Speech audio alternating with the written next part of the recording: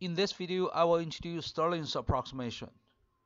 The natural logarithm of x factorial is approximately equal to x times ln(x) minus x. This approximation can be derived using this graph. We will use an integral to approximate a sum. If we look at this function curve, this is ln(x). ln1 is 0, ln2 is 0.7 roughly, ln3 is roughly 1.1, ln4 is roughly 1.4 and so on. So if we look at this uh, area under this ln(x) curve, this is the integral of ln(x) from 1 to 8. And then we can actually look at the uh, blue bars. We want to say the total area of the blue bars is approximately the same as the integral value of ln x. So this blue bar has a height of 0 because ln1 is 0. ln2 is 0.7, so we have 0.7 times 1 here. And then ln3 is 1.1. You have 1.1 times 1 as the area of this blue bar. And then this one is ln4 times 1, ln5, ln6, ln7. So really the sum of ln1, ln2 all the way to ln7 can be approximated as the integral of ln(x) from 1 to 8. So you can see, of course, there's error. The gray areas correspond to the error. That's not accounted for. But when x is bigger, in this case, x equals 23. And then you can see the blue bars uh, can be used to approximate the integral of this ln(x) and vice versa. So again, when x is large, we can use this approximation. And then here's the proof. ln(x) factorial, that's uh, the sum of ln1, ln2, all the way to ln(x). We will uh, just uh, use this uh, integral to approximate the sum here. So we're integrating this uh, ln i di from uh, 1 to x and the integral of ln i is i times ln i minus i. You can easily verify this by taking the first derivative of this function.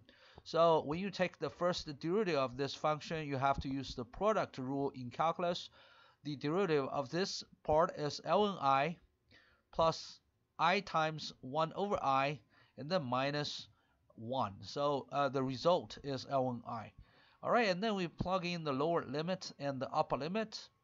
And uh, the lower limit is 1, the upper limit is x. We plug them in. We get out x, ln(x) minus x plus 1. Again, when x is large, this part is much larger than 1, and then we have this approximation. So we actually made two approximations in the derivation. The first is here. We use an integral to approximate a sum. And second, we eliminate this 1 assuming x is much larger than 1. And then we can use this uh, approximation when x is large. This is so-called Stirling approximation. And there's a much more accurate approximation that contains many more terms. You can include this term.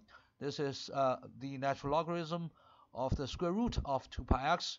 If you have the initial uh, proved uh, Stirling approximation here plus the third term, you will get a much uh, accurate approximation. And further, you can make it even more accurate by adding uh, some more terms uh, over here. But over here, you can usually stop here because uh, even if x is small, uh, this approximation is uh, negligible.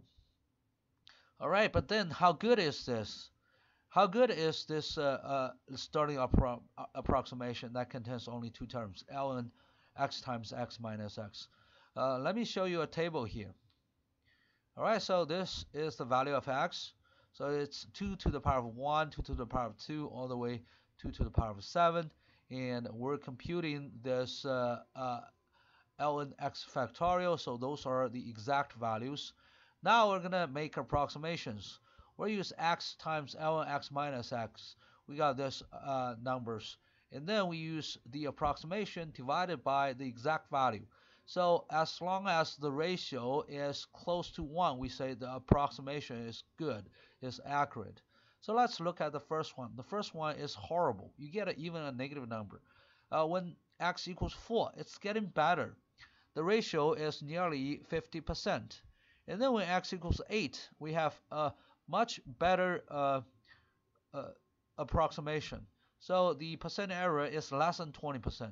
And then when x equals 16, we are approaching uh, 1. So this is 0.925 already. When x equals 128, you can see the ratio between the approximation and the exact value becomes uh, 0.993. The error percent is less than 1 percentage point. So what if we include another term? Uh, this is actually the natural logarithm of the square root of 2 pi x. I just take this uh, 2 pi x to the power of uh, 1 half. We just take the 1 half in front of the natural logarithm. Again, we have the exact values here. We have the approximation here. And this, this time, we have the third term. Again, x is from 2 to the power 1 to 2 to the power of 7. So let's look at ratio. Even when x equals 2, look at the ratio. When x equals 2, the ratio is really close to 1 already. It's 94%. The percent error is only 6%. When x equals 4, it's 99%. When x equals 8, well, you have a percent error smaller than 0.1%. It's really, really accurate already. And then when x equals 64 and 128, you can see the percent error is negligible. So it seems that we need to include the third term to have really accurate approximation, but really it depends. If x is large enough, we don't have to include this uh, natural logarithm of the square root of 2 pi x. Uh, this is because the percent error of this approximation with only two terms is roughly 1 over x. So what does that mean? If x equals 1000, we expect the percent error to be only 0.1%. So I used Wolfram Alpha to compute this uh, ratio here.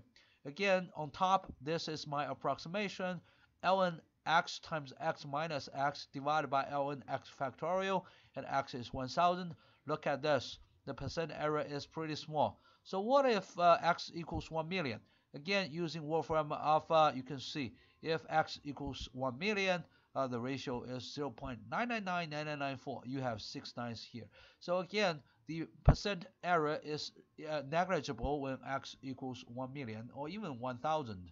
And in the future, when we uh, deal with statistical thermodynamics, x is usually uh, 1 mole, 6 times 10 to the power of 23. So the error is rough. The error is uh, the relative error is probably 1 over uh, 10 to the power of 24. So that's definitely negligible.